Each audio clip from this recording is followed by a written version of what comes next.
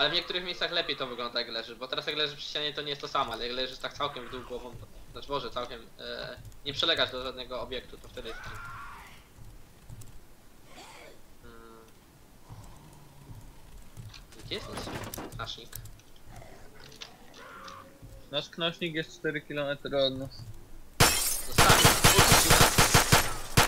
Zabiłem kogoś.